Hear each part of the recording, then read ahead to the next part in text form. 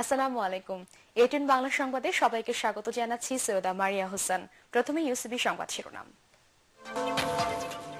রাজশাহী ও রংপুর বিভাগের বাহাত্তরটি পৌরসভায় ভোট গ্রহণ শেষে ফলাফল ঘোষণা চলছে। ভোট গণনার সময় পাবনার ঈশ্বরদীতে দুটি কেন্দ্রের সংঘর্ষ।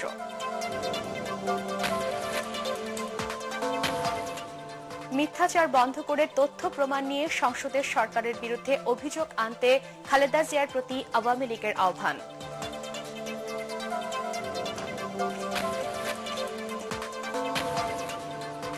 ভর্তি বাণিজ্য বন্ধে রাজধানীতে এগারোটি নতুন স্কুল প্রতিষ্ঠা করবে সরকার, বললেন প্রধানমন্ত্রী।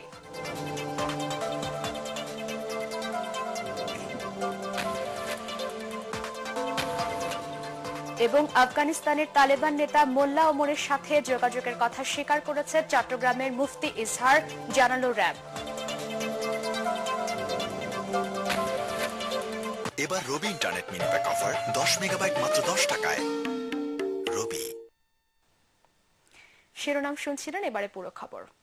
রাজশাহী ও রংপুরে বিভাগে অনুষ্ঠিত পৌর নির্বাচনের বাহাত্তরটির মধ্যে এ পর্যন্ত ফলাফল পাওয়া গেছে ছেষট্টিটির।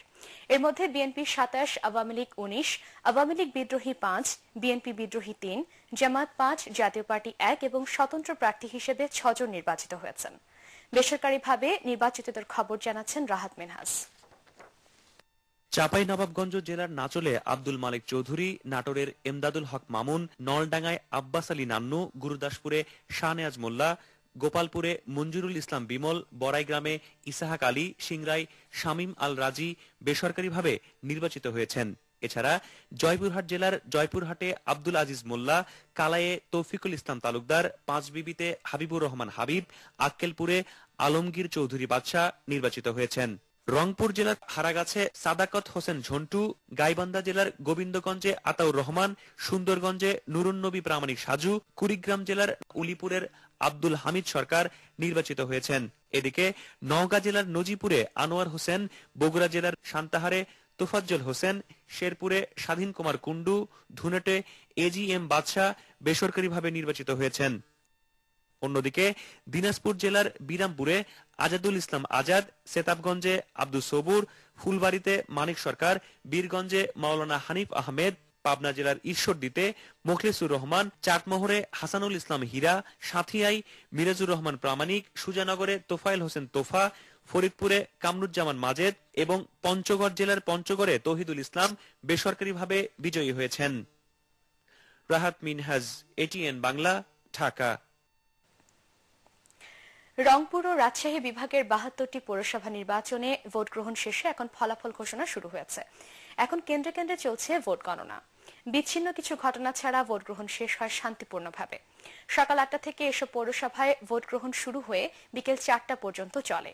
পাবনার ঈশ্বরদী পৌরসভা নির্বাচনের ভোট গণনার সময় সহিংস ঘটনার প্রেক্ষিতে ওই এলাকায় একশো চুয়াল্লিশ ধারা জারি করা হলেও পরে তা প্রত্যাহার করে বিএনপি সমর্থিত প্রার্থীকে বিজয়ী ঘোষণা করা হয়। এদিকে সৈয়দপুরের বাঁশবাড়ি কেন্দ্রে ভোট গণনার সময় পুলিশের সাথে এলাকাবাসীর ধাওয়া পাল্টা ধাওয়া হলে পুলিশ পাঁচ রাউন্ড রাবার বুলেট ছোড়ে। আরও জানাচ্ছেন বরকতুল্লাহ সুজন। ভোট গ্রহণ অনুষ্ঠিত হয় রংপুর বিভাগের আট জেলার, তেইশটি ও রাজশাহী বিভাগের আট জেলার উনপঞ্চাশটি পৌরসভায়। ভোট কেন্দ্র ছিল মোট তেরোশো পঁয়ষট্টিটি। দুই বিভাগের ভোটার সংখ্যা একুশ লাখ চব্বিশ হাজার একত্রিশ জন। নির্বাচন কর্মকর্তারা জানিয়েছেন, ভোট পড়েছে ষাট শতাংশেরও বেশি। শৈত্যপ্রবাহ উপেক্ষা করে তারা তাদের ভোটাধিকার প্রয়োগ করেন। তাদের মধ্যে ছিল বিপুল উৎসাহ উদ্দীপনা। জীবনে প্রথম ভোট। আমাকে খুব ভালো লাগতেছে। এখানে খুব শান্ত শিষ্ট পরিবেশে ভোট হচ্ছে। সুষ্ঠুভাবে ভোট হচ্ছে। কোনো রকম ঝামেলা নাই। নিরাপদ অবস্থায় দিয়ে আসছে। এদিকে ভোট চলাকালে কেন্দ্রের আশপাশে আইন শৃঙ্খলার দায়িত্ব পালন করেছে সেনাবাহিনী পুলিশ বিজিবি ও আনসার সদস্যরা। তবে নীলফামারী পৌর এলাকায় এক মেয়র প্রার্থীর বিরুদ্ধে লিফলেট বিতরণের অভিযোগে আলী হোসেন নামে একজনকে এক বছরের কারাদণ্ড দেয় ভ্রাম্যমাণ আদালত। বগুড়ার ধুনটে আইন শৃঙ্খলা ভঙ্গের অভিযোগে আটক করা হয় চারজনকে। কুড়িগ্রাম পৌরসভায় ব্যালট বাক্স ছিনতায় সহযোগিতা করার অভিযোগে আটক করা হয় এক পোলিং অফিসার ও এক প্রিজাইডিং অফিসারকে। আর গাইবান্ধায় ভুয়া এজেন্ট হিসেবে মকবুল নামের একজনকে ছয় মাসের জেল ও এগারো জনকে জরিমানা করা হয়। বরকতুল্লাহ সুজন, এটিএন বাংলা। রংপুর ও রাজশাহী বিভাগের পৌর নির্বাচন অত্যন্ত শান্তিপূর্ণভাবে হয়েছে। কোনো ধরনের অপ্রীতিকর ঘটনা কিংবা কাউকে প্রভাবিত করার মতো কোনো ঘটনা ঘটেনি বলে জানিয়েছেন নির্বাচন কমিশনার এম শাখাওয়াত হোসেন। বিকেলে কমিশন সচিবালয়ের সাংবাদিকদের কাছে এ মন্তব্য করেন তিনি। নির্বাচন সফল করার জন্য তিনি ভোটার সহ নির্বাচন সংশ্লিষ্ট সব কর্মকর্তাদের ধন্যবাদ জানান। শীত উপেক্ষা করেও প্রায় পঁয়ষট্টি শতাংশের মতো ভোটার উপস্থিতিকে তিনি সন্তোষজনক বলে অভিহিত করেন। পৌর নির্বাচনের দ্বিতীয় পর্যায়ে আজ বৃহস্পতিবার ভোট গ্রহণ হবে বরিশাল ও খুলনা বিভাগের ঊনপঞ্চাশটি পৌরসভায়। নির্বাচনী বিধি অনুসারে মঙ্গলবার মধ্যরাত থেকেই ওই সব পৌরসভায় নির্বাচনী প্রচারণা শেষ করেছেন প্রতিদ্বন্দ্বী প্রার্থীরা। সংশ্লিষ্ট রিটার্নিং অফিস থেকে ইতোমধ্যেই কেন্দ্রগুলোতে ভোট গ্রহণের জন্য ব্যালট পেপার ও বাক্স সহ বিভিন্ন সরঞ্জাম পাঠানো হয়েছে। নির্বাচনের দিন বরিশাল ও খুলনা বিভাগের আঠারোটি পৌরসভায় সশস্ত্র বাহিনী এবং পাঁচটি পৌরসভায় বর্ডার গার্ড অব বাংলাদেশের সদস্যরা স্ট্রাইকিং ফোর্স হিসেবে দায়িত্ব পালন করবে। এদিকে রাজশাহী ও রংপুর পৌর নির্বাচনে আওয়ামী লীগের প্রার্থীরা ভোটারদের ভয়ভীতি দেখিয়ে এবং ভোট কেন্দ্র থেকে এজেন্টদের বের করে দেওয়ার পরও জনগণ বিএনপি প্রার্থীর পক্ষে যে রায় দিয়েছে তা পাল্টে দেয়া হলে পৌর এলাকাগুলোতে গণবিক্ষোভ দেখা দেবে। বিকেলে নয়াপল্টনে দলের কেন্দ্রীয় কার্যালয়ে এক সংবাদ সম্মেলনে বিএনপি নেতা নজরুল ইসলাম খান একথা বলেন। তিনি আরও দাবি করেন, ভোট গ্রহণকালীন সময়ে আওয়ামী লীগ প্রার্থীর লোকজন রাজশাহীর দুর্গাপুর কেন্দ্র দখল করে রাখে। এজেন্টদের বের করে দিয়ে ব্যালট পেপারে সিল মারে। এছাড়া রংপুরের হারাগাছ, রাজশাহীর বাগমারা ও গাইবান্ধায় মারধর করে এজেন্টদের বের করে দেওয়ার অভিযোগ করেন নজরুল ইসলাম খান। জনগণ এই প্রচণ্ড শীতে কষ্ট করে তারা ভোট দিয়েছে। ব্যালটে যে রায় দিয়েছে তারা, হিসাবের কারচুপির মাধ্যমে যেন সেটা পাল্টে দেওয়ার চেষ্টা না করা হয়। এরকম কোনো অপচেষ্টা হলে প্রত্যেক নির্বাচনী কেন্দ্রের কাছে সব প্রার্থীরই সমর্থকরা আছে, সেখানে সেটা গণবিক্ষোভ হবে। কারণ তারা চাইবে যে তারা যাদেরকে ভোট দিয়েছে তারা যেন যেতে গত সাধারণ নির্বাচনের মতো অবাক হয়ে যাওয়ার মতো ঘটনা যেন না ঘটে আর কি। মিথ্যাচার বন্ধ করে তথ্য প্রমাণ নিয়ে সংসদে এসে সরকারের বিরুদ্ধে অভিযোগ উত্থাপনের জন্য বিরোধী দলীয় নেত্রী বেগম খালেদা জিয়ার প্রতি আবারও আহ্বান জানিয়েছে আওয়ামী লীগ। ধানমন্ডিতে দলীয় সভানেত্রীর কার্যালয়ে এক সংবাদ সম্মেলনে আওয়ামী লীগের সাধারণ সম্পাদক, এলজিআরডি মন্ত্রী সৈয়দ আশরাফুল ইসলাম এ আহ্বান জানান। যে অভিযোগগুলি তিনি তুলে ধরেছেন, সেগুলি তথ্য প্রমাণ সহ সংসদে এসে উত্থাপন করবেন। এবং তথ্য প্রমাণ ছাড়া কথার কারণে শুধু কথা বলাটা গণতন্ত্রকে সুসংহত করে না। ভর্তি বাণিজ্য বন্ধে রাজধানীতে এগারোটি নতুন স্কুল প্রতিষ্ঠা করবে সরকার। বেসরকারি শিক্ষা প্রতিষ্ঠান শিক্ষক ও কর্মচারী কল্যাণ ট্রাস্টের একটি প্রতিনিধি দল সকালে প্রধানমন্ত্রী শেখ হাসিনার সাথে তার কার্যালয়ে দেখা করলে প্রধানমন্ত্রী সরকারের এ পরিকল্পনার কথা জানান। শেখ হাসিনা বলেন, জোর করে শিশুদের শিক্ষাদান থেকে বিরত থেকে এমন পরিবেশ তৈরি করতে হবে যাতে তারা স্বেচ্ছায় আনন্দের সাথে শিক্ষা গ্রহণ করে। শিক্ষা খাতের সর্বোচ্চ বরাদ্দ দেওয়ার পাশাপাশি সবার জন্য শিক্ষা নিশ্চিত করতে গ্রামীণ অঞ্চলেও স্কুল প্রতিষ্ঠায় সরকারের উদ্যোগের কথা উল্লেখ করেন প্রধানমন্ত্রী। শিশুদের ওপর অতিরিক্ত বইয়ের বোঝা না চাপাতেও সংশ্লিষ্টদের পরামর্শ দেন তিনি। এদিকে দেশের তেল, গ্যাস, বিদ্যুৎ ও জাহাজ নির্মাণ শিল্পে সম্ভাব্য সকল ধরনের সহযোগিতা দেবে নরওয়ে বলে জানিয়েছেন ঢাকায় নিযুক্ত নরওয়ের রাষ্ট্রদূত রেগনে ব্রিতে লোন্থ সকালে নরওয়ের রাষ্ট্রদূত প্রধানমন্ত্রীর সাথে দেখা করে সহযোগিতার কথা জানান। এ সময় তারা দুদেশের দ্বিপাক্ষিক স্বার্থ সংশ্লিষ্ট বিভিন্ন বিষয় নিয়েও আলোচনা করেন। আফগানিস্তানের শীর্ষ তালেবান নেতা মোল্লা ওমরের সাথে যোগাযোগের কথা স্বীকার করেছে ইসলামী ঐক্যজোটের একাংশের চেয়ারম্যান মুফতি মোহাম্মদ ইজহারুল ইসলাম চৌধুরী।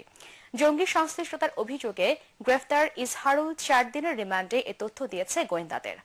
র্যাব জানিয়েছে, নিষিদ্ধ জঙ্গি সংগঠন হরকাতুল জিহাদের পৃষ্ঠপোষক ইজহারুল ইসলাম চৌধুরী টিএফআই সেলে জঙ্গি তৎপরতার বিষয়ে আরও গুরুত্বপূর্ণ তথ্য দিয়েছে।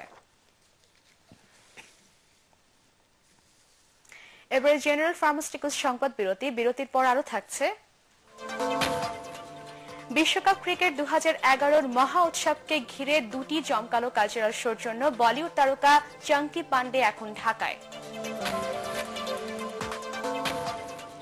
এবং মরিশাসের সড়ক দুর্ঘটনায় দশ বাংলাদেশি শ্রমিক সহ এগারো জন নিহত।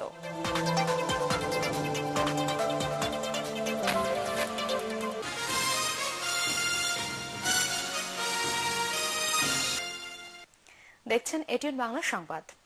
বিএনপি চেয়ারপারসন হিসেবে সাতাশ বছর পূর্ণ করলেন সাবেক প্রধানমন্ত্রী বেগম খালেদা জিয়া। দলের প্রতিষ্ঠাতা সাবেক রাষ্ট্রপতি জিয়াউর রহমান নিহত হওয়ার পর উনিশশো চুরাশি সালের বারো জানুয়ারি দলের চেয়ারপারসনের দায়িত্ব নেন বেগম জিয়া। এ উপলক্ষে রাতে বিএনপি চেয়ারপারসনের গুলশান কার্যালয়ে বিপুল সংখ্যক নেতাকর্মী বেগম জিয়াকে ফুলের শ্রদ্ধা জানান। বিএনপির কেন্দ্রীয় নেতাদের পাশাপাশি এ সময় দলের অঙ্গ সংযোগ সংগঠনের নেতাকর্মীরা খালেদা জিয়াকে শুভেচ্ছা জানান। এ সময় গোটা গুলশান কার্যালয়ে উৎসবের আমেজ সৃষ্টি হয়। বেগম জিয়া দলের শীর্ষ নেতা কর্মীদের নিয়ে কেক কেটে আনন্দ ভাগ করে নেন। স্থায়ী কমিটির সদস্য ড খন্দকার মোশাররফ হোসেন, ব্যারিস্টার মদুদ আহমেদ সহ শীর্ষ নেতারা উপস্থিত ছিলেন। বাংলাদেশের প্রকৃতিতে খুঁজে পাওয়া বিভিন্ন প্রজাতির পাখির চিত্র ছবিতে তুলে ধরে নতুন বই photographic guide to birds of Bangladesh প্রকাশ করলেন পাখি বিশেষজ্ঞ রোনাল্ড আর হালদার। রাজধানীর ইন্ডিপেন্ডেন্ট ইউনিভার্সিটি বাংলাদেশ আইওবি এর বসুন্ধরা ক্যাম্পাস প্রাঙ্গণে বইটির মোড়ক উন্মোচন করেন বঙ্গবন্ধু শেখ মুজিবুর রহমানের কনিষ্ঠ কন্যা শেখ রেহানা। এ সময় আইওবি এর গভর্নিং কাউন্সিলের চেয়ারম্যান তৌহিদ সামাদ, বিশ্ববিদ্যালয় ভারপ্রাপ্ত উপাচার্য অধ্যাপক ওমর রহমান উপস্থিত ছিলেন। বইটির উপর আলোচনা করেন পাখি বিশেষজ্ঞ ইনামল হক। অনুষ্ঠানের প্রধান অতিথির বক্তব্যে শেখ রেহানা বলেন, প্রকাশিত বইটি সকলকে বাংলার প্রকৃতি ও পাখি সম্পর্কে জ্ঞান অর্জনে সহায়তা করবে। আগামী সতেরোই ফেব্রুয়ারি উদ্বোধন হতে যাচ্ছে বিশ্বকাপ ক্রিকেট দু হাজার এগারো।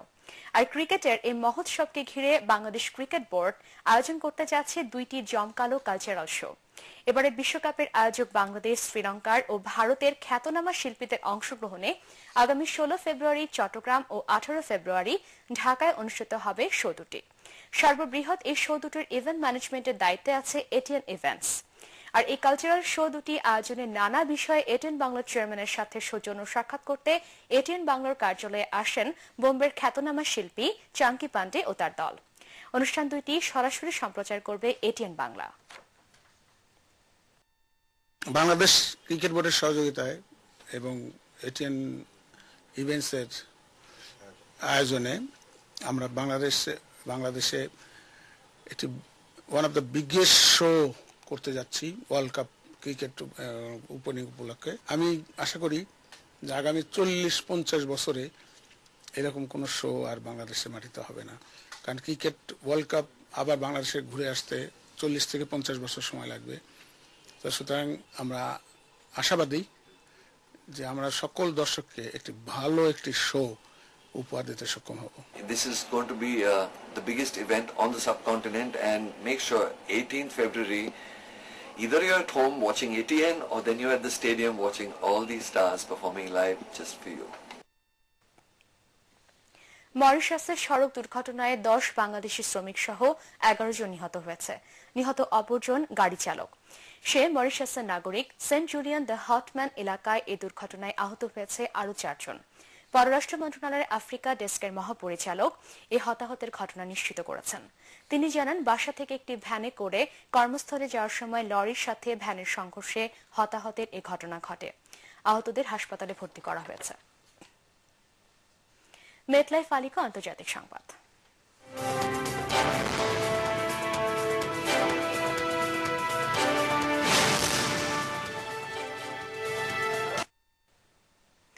অস্ট্রেলিয়ায় বন্যা পরিস্থিতির আরও অবনতি ঘটায় তলিয়ে যেতে শুরু করেছে দেশটির তৃতীয় বৃহত্তম শহর ব্রিসবেন। ব্রিসবেনে প্রায় দশ হাজার ঘরবাড়ি পানিতে তলিয়ে গেছে। শহরের বাসিন্দাদের নিরাপদ আশ্রয় সরে যাওয়ার অনুরোধ জানিয়েছে কর্তৃপক্ষ।